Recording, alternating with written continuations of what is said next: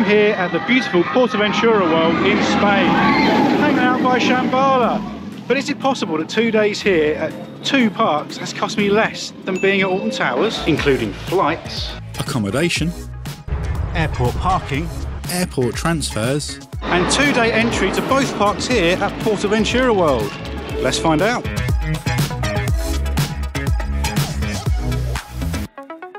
So I've just booked my trip to Portaventura World. I'll be travelling out on the 17th of April and returning on the 19th. I've also just checked to see what the prices are like for Alton Towers on the same dates as well, but we'll come back to that shortly. I'll see you at the airport. So I've parked here in the green car park here at Stansted Airport. It's the undercover one, it's right near the terminal, which is really handy. This has cost me £61.59. Always a bit of a bugbear getting stung for airport parking, isn't it? Anyway, it's chilly. I'm going to get inside.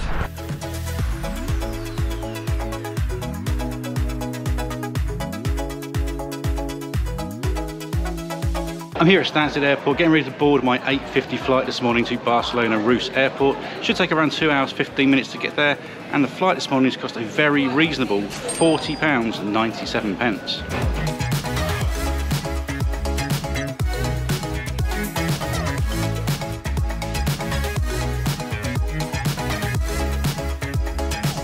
So I've arrived here at Reus now. That's a very uneventful flight. Always a bonus to get an emptier flight and get a row of seats to yourself. Uh, so I managed to get a nice hour's sleep there and we landed slightly ahead of schedule. So all good. All that remains now is to get a taxi to Portaventura, which should take me around 15 minutes.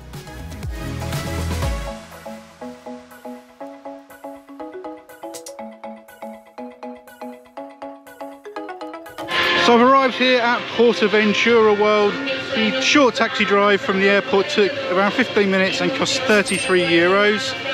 Uh, all in all, to get from the tarmac at Stansted here to Portaventura, it's taken around two and a half hours in total. So that's not too bad at all. Let's head into the park and I'll tell you how much I paid for two days at both of these wonderful theme parks. Portaventura World is the third largest theme park resort in Europe, spanning 296 acres. On site, you'll find 53 attractions across the two theme parks, Portaventura and Ferrari Land. These include huge roller coasters like Red Force, Shambhala, and Furious Baco, along with family friendly attractions such as the wonderful Sesame Street Street Mission and the new Uncharted indoor roller coaster, as well as various shows and street performances, all located in idyllic surroundings. So I'm now here inside the beautiful Portaventura Park and a two-day ticket here to Portaventura which includes entrance to two days here at this park uh, this evening at Ferrari Land as well. That came to 70 euros or 60 pounds. It's not too bad. If you find these budget travel guides useful, then hitting the like button is the best way to show me that I should make some more of them. And feel free to subscribe if you'd like to join me for loads more theme park adventures. So I've just finished my two days here at Portaventura World. Well, I've ridden huge roller coasters like Shambhala, Red Force, as well as the brand new indoor roller coaster, Uncharted. So I'm gonna head back to the hotel now and give you a bit of a tour of my digs. Interestingly here, they don't give you a room key you get a little bracelet thing which unlocks the door, although it has been a little temperamental. So let's see if it works tonight. Hey. So I've just checked into my hotel here in Salou, which is H10 Salauris Palace. It's literally a seven minute walk down the same road as Portaventura. You just turn left out of the resort and just follow that road down. Really simple to get to. That's the main pool. They also have a jacuzzi on the roof and an indoor pool as well. And this is the room, a decent sized room, a nice double bed, got a chair as well, uh, proper large mirrored wardrobes, high. Um, yeah, it's decent. I've stayed here once before actually. It was roughly, I think 10 or 11 years ago. Let's check out the bathroom and see what sort of condition this is in. Again, really nice, spacious bathroom, very echoey. Uh, it's always nice to have a bath, but for a shower that size, I will certainly settle with. And this is the rooftop terrace here at H10 Salauris Palace as well. As you can see behind me, you get some fantastic views of Portaventura, which is just up the road, as well as quite a nice decking area here. We've got a jacuzzi as well. So yeah, really nice terrace when it's nice and warm. I've got to say, the evening chill is starting to bite now and it's getting quite windy. So I'm gonna dive back downstairs to the basement where there's even more stuff to check out. So down here in the basement, they do have a beauty centre, which is a jacuzzi and a sauna and a gym in there. So this is their gym in here, complimentary towels provided, and a reasonable array of gym equipment. It's not the biggest, but uh, and then just through here you have their indoor pool as well. I'm not going to linger on that too much because there are people using it. And then they obviously have some gym lessons and things in here. They have all the boards, the mirrors, etc. If you go along the hallway here, you've got the uh, sauna just on your right hand side here as well. So just inside here you have a variety of sort of boutiques and shops. Uh, I wish I'd known this earlier because I would have got myself some sun cream, which I'm going to do anyway. And then you have one of the restaurants through here and a lounge area. Also a games room in there, so quite a lot to do here. And then out here we have the main pool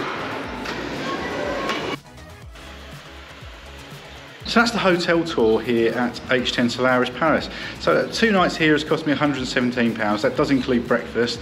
That was booked on booking.com. However, through my bank, I do get another 4% cash back as well. So that knocks another fiver off. So ultimately it's come to £112 just for the hotel, which I don't think is too bad. The cost of hotels does seem to have risen quite a lot recently. I think looking at general prices in the area, this seems to be pretty good value. So yeah, definitely recommend this place. I think for the money, you've got everything you need, plus a bit extra as well. And of course, while in Salou, it would be rude not to pop down to the beach, wouldn't it? So this is around a 10 to 15 minute walk from the hotel. You can access the beach over there much quicker, but I've walked around to the point here because it is such a lovely area.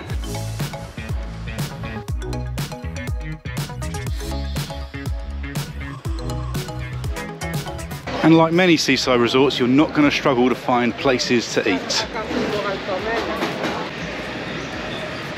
And just like that, I'm back at Reus Airport. The return taxi was 31.93, so a euro or so cheaper than the uh, trip to the hotel in the first place. So now it's time to fly home.